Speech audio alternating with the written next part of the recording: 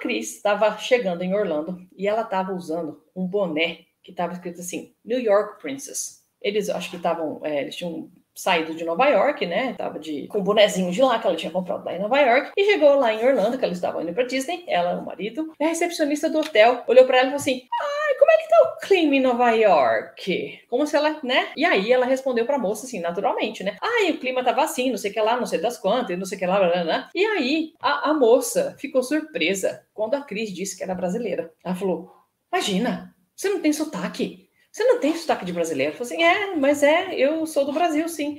Eu, eu tô vindo de Nova York, mas eu não sou de lá, eu sou do Brasil. E ela ficou chocada porque ela não tinha percebido nenhum sotaque. Então, isso é completamente possível para você, para mim e para qualquer um. É completamente possível falar inglês fluente e soar como um nativo, mesmo sendo brasileiro.